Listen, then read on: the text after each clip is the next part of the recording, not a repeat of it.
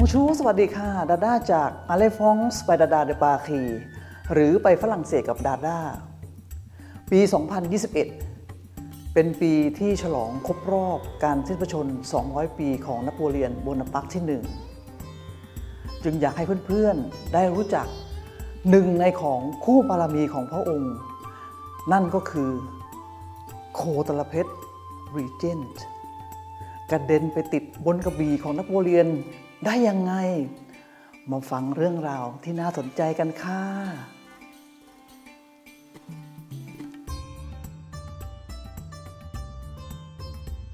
ประวัติของเพชรรีเจนต์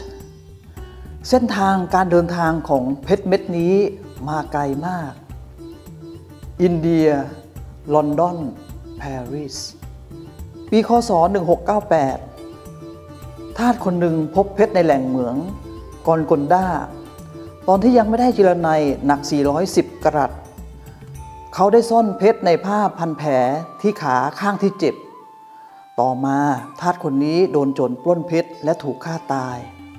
ภายหลังเพชรเม็ดนี้ตกอยู่ในมือของพ่อค้าอินเดีย ปีคศ 1701 นายโทมัสพิทชาวอังกฤษ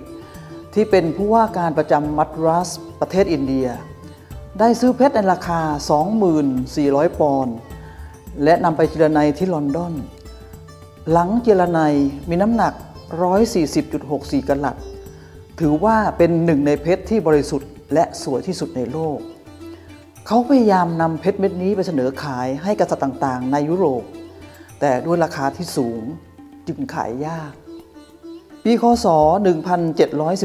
1717 เจ้าชายฟิลิป ดอร์เลอง หลานชายของพระเจ้าหลุยส์14 ซึ่งเป็นผู้สำเร็จราชการแทนพระเจ้าหลุยส์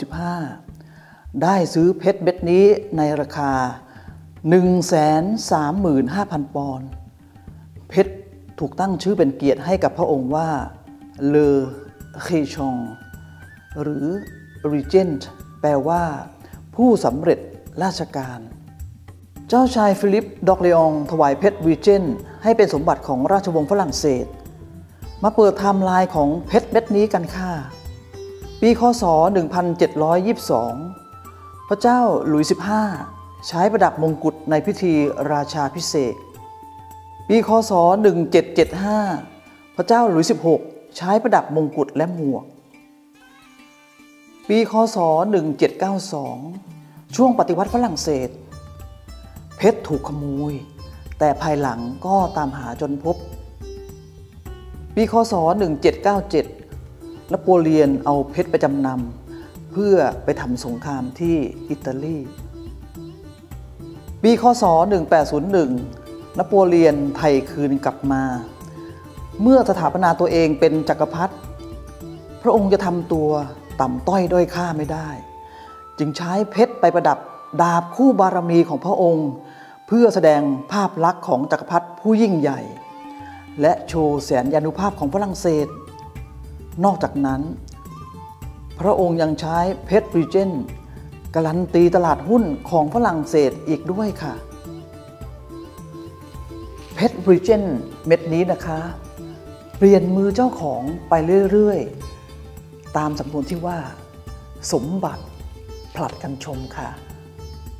เพื่อนๆทราบไหมครับว่า ปัจจุบันเพชรบรีเจนต์ เราจะไปตามหาได้ที่ไหน ที่พิพิธภัณฑ์ลูฟค่ะ ห้ามพลาดไปชมนะคะ ถ้าอยากจะชมให้ได้อัธรสดาด้ายินดีเป็นไกด์บรรยายชุดใหญ่ ไฟกระพริบเลยค่ะ ถ้าเพื่อนๆชอบคลิปนี้ อย่าลืมกดไลค์กดแชร์ และกดติดตาม เพื่อเป็นกำลังใจให้ด้วยนะคะ ขอบคุณค่ะ